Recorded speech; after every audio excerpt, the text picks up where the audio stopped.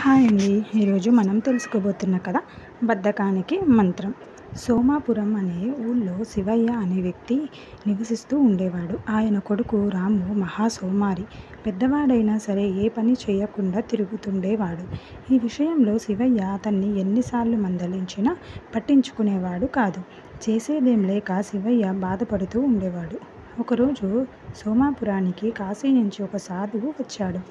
ఆయన దగ్గరికి వెళ్ళి ఊళ్ళోని వాళ్ళంతా ఆశీస్సులు తీసుకొని తమ సమస్యని చెప్పుకున్నారు. వాళ్ళలో శివయ్య ఏమీ మాట్లాడకపోయినా దిగులుగా ఉండడం గమనించిన సాధువు దగ్గరికి పిలిచి విషయం కనుక్కున్నాడు. సాయంత్రం గ్రామస్తులతో మాట్లాడేటప్పుడు ఈ ఊళ్ళో ఒక బద్దకస్తుడు ఉన్నాడు. అతని వల్లే ఊరికి చెడు జరుగుతుంది. వచ్చే గురువారం నాడు అతని ఇంట్లో వాళ్ళు మాయమైపోతారు అని చెప్పాడు. గురువారం వచ్చేసరికి రాము తల్లిదండ్రులు కనిపించడం లేదన్న వార్త ఊరంతా గప్పుమంది. అంతే అతని వల్లే ఊరికి చెడు జరుగుతుందంటూ అందరూ రాముని దూరం పెట్టారు. ఇంట్లో వాళ్ళు లేకపోవడంతో అన్నం కోసం కూడా అతను బాగా ఇబ్బంది పడాల్సి వచ్చింది.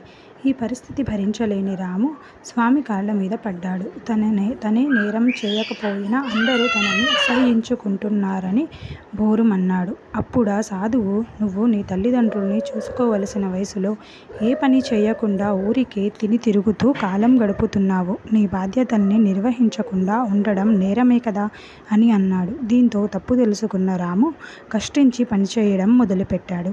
ఇప్పుడు తల్లిదండ్రులు తనని చూస్తే ఎంతో సంతోషపడతారని అనుకుంటూ ఉండేవాడు. కొన్నాళ్ళకు సాధువు మళ్ళీ ఆ ఊరికి వచ్చాడు. అందరితో మాట్లాడుతూ బద్దకస్తుడు మారిపోవడం వల్ల అతని ఇంట్లో వాళ్ళు తిరిగి వస్తారు అని చెప్పాడు. మర్నాడు